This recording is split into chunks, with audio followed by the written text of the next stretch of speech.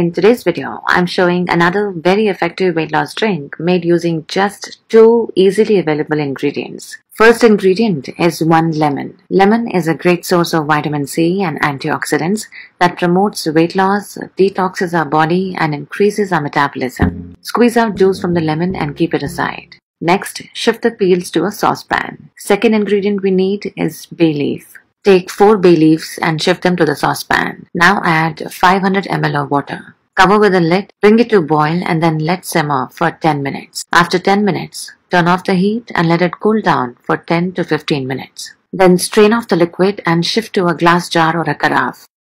Now add this lemon juice and stir. Have 2 cups of this magical lemon bay leaf water for at least a week, 30 minutes before breakfast and 30 minutes before dinner, and you'll be able to lose up to half to 1 kilo a day, provided you eat healthy for the rest of the day. Bye bye.